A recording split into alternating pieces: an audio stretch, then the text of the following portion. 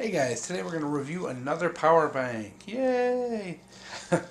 I know, it seems kind of tedious guys, but in the end, anything to try and help you guys save a couple of bucks, you know, I'm willing to do it.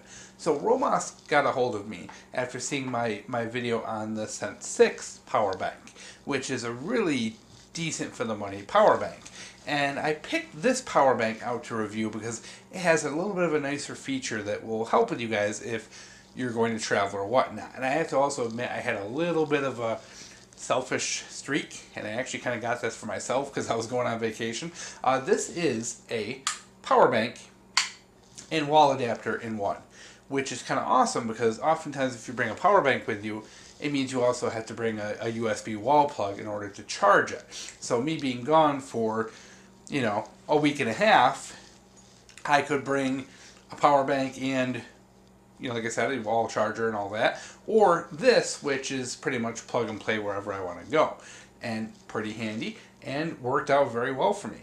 It, uh, you know, of course, folds away. This is only a 10,000 milliamp hour uh, power bank, so it is a little bit uh, bulky for what it is, but you have to bear in mind, you also have the you know wall adapter and all that built into this. So you have two ports, your typical um, what you get out of pretty much every USB nowadays which is a, uh, a 1 amp and a 2 amp for a total of 3 amps. Pretty much never going to get 3 full amps out of these. Uh, you're usually going to get two and a half or so when you're running two things at once. Um, I do get 2 amps out of the uh, 2 amp bay when just running one thing, but not when running two. You have your little LED, and I know this is like empty right now. Your little LED power display, you just hit the button and that will uh, tell you where you're at for power. It charges in a couple hours, probably about uh, three hours. I believe in the bottom here.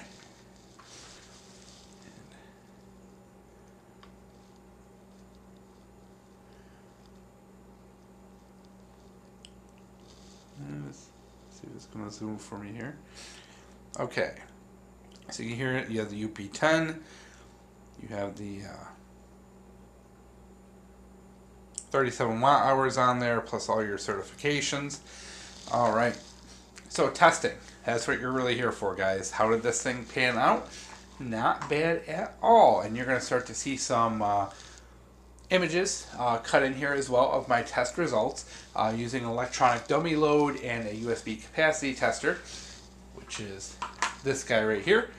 I was able to determine that this has um, about 6,850 uh, milliamp hours available.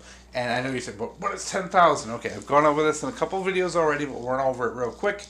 Uh, there is a conversion because the batteries in these are 3.7 volts and USB is 5 volts, so there is a conversion and efficiency is lost in that process.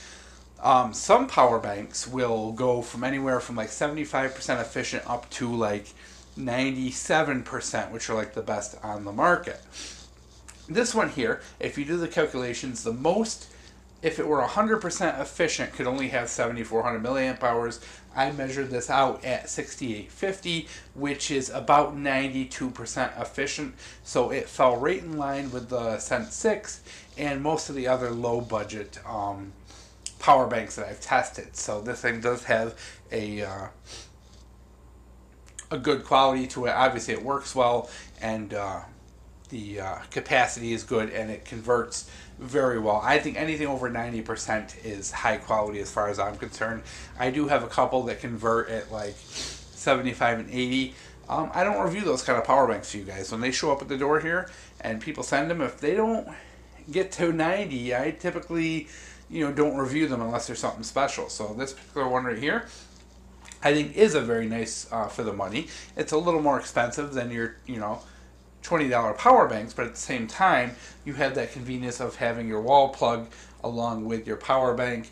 It's a pretty tough case too. It's pretty thick, a little bit on the heavy side, guys, but you know, in the end, you know, this Romoss is uh, really nice. It was very handy on vacation because I could just plug this in wherever I wanted.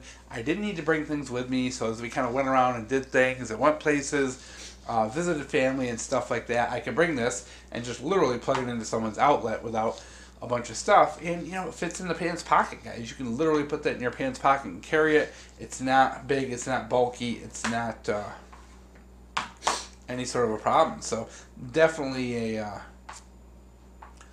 a power bank I recommend. You know, like I said, it's not the most efficient on the market.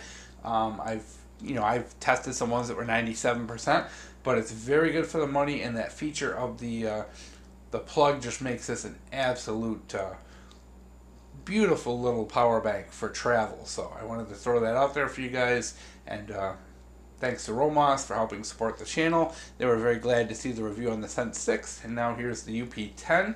And uh, once again, it, it, didn't disappoint at all, and uh, it really is a. They're going to be a good name in the uh, low budget power banks.